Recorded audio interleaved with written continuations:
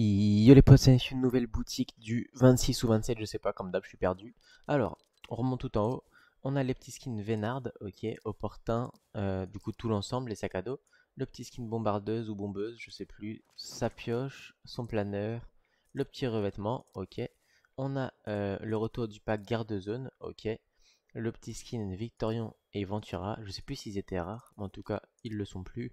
Le skin plongeuse, Jonesy naufragé, Ok, des petites danses, un petit revêtement, je sais pas s'il est nouveau, non. Euh, en bas, on a comme hier, ok, je crois qu'il n'y a rien d'autre, on vérifie.